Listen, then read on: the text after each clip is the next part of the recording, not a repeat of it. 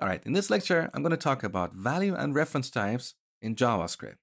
Now, if you're familiar with this concept or you're a C-sharp developer, feel free to skip this lecture and move on to the next lecture. So in JavaScript, we have two types of variables. We have value types like strings, numbers, booleans, null, and undefined, and reference types, which include objects, arrays, and functions. So here's an example. When we declare a variable like x and set it to a string like apple, a part of computer's memory is allocated for x variable. Let's imagine the address of this location in memory is 111. So x will be a label for this memory location. And at that location, we have the string apple. Now let's see how memory allocation is different for reference types. So here we set x to an object instead of a string and objects are reference types. When this line is executed, similar as before, a part of computer's memory is allocated for the x variable, and let's imagine the address of this memory location is 111. But our object is not stored in this memory location. It's stored somewhere else. And let's imagine the address of this target memory location is 222. So our x variable, which is a label for memory location 111 will hold the address of the target memory location. So X is pointing or referencing a different memory location, and that's why we call them reference types. Now, in case you're curious why memory allocation is different between value and reference types, the reason is that we use value types for simple values like numbers, strings, booleans, and so on. We don't need much memory for these kind of values.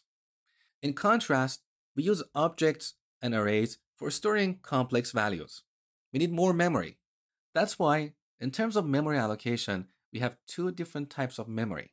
We have stack memory, which is used for storing simple values or value types, and heap memory, which is used for storing larger, complex objects.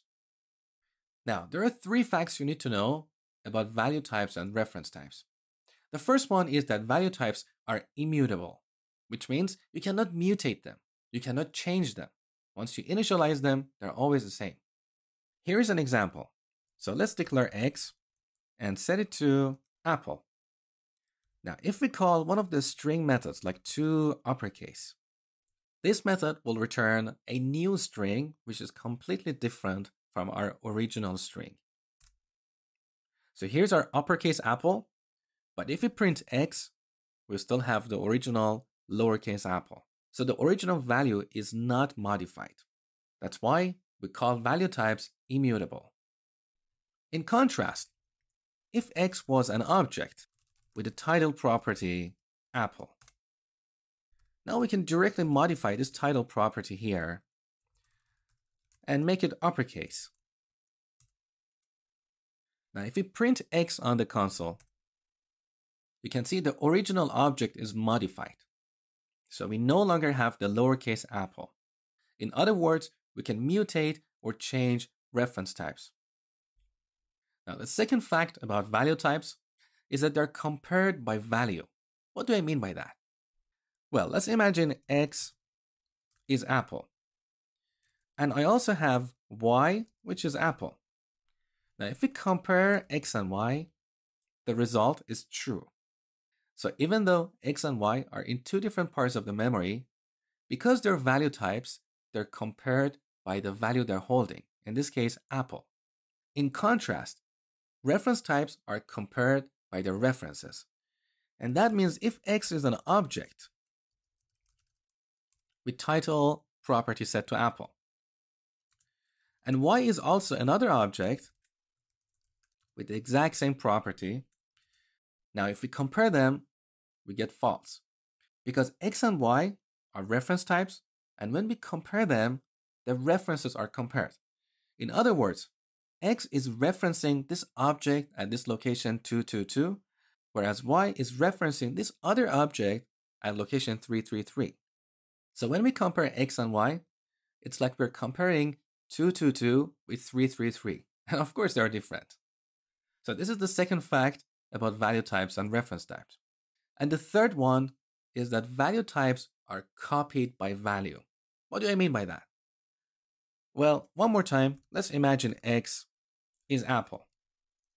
Now, if we declare y and set it to x, because x is a value type, a copy of x's value is taken and stored in y.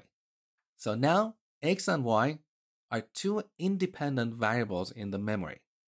In contrast, if x is an object with a title property set to apple, and y is another variable, and we set this to x, now both x and y are referencing or pointing to the same object in memory. And that means if I change this object via x reference, so x.title, let's update this. Now this change is visible through the other reference. So if I print y, look, have an object with title set to orange. So a value type is copied by its value, whereas a reference type is copied by its reference. Hey, thank you for watching my YouTube video. My name is Mosh Hamedani, and I'm a full stack developer, a Pluralsight author, and a Udemy instructor with about 14 courses at the time of recording this video. So I've got lots of courses on both front-end and back-end development, including C Sharp, Entity Framework, ASP.NET MVC, Angular, architecture, unit testing, and so on. This video you watched is actually part of my Angular course on Udemy that you can get with a discount using the link in the video description. And if you want to see my other courses, simply head over to programmingwithmosh.com slash courses. You can also subscribe to my YouTube channel to get free videos every week. Have a great day, and I'll be back soon.